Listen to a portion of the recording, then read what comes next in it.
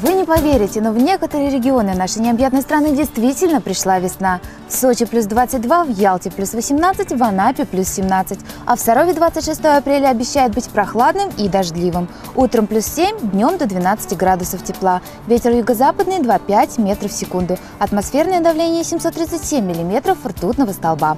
В Нижнем Новгороде синоптики тоже прогнозируют дожди. Утром плюс 6, днем столбики термометров поднимутся до 11 градусов тепла. Ветер юго-западный 2,6 метров в секунду. Атмосферное давление 741 миллиметр ртутного столба.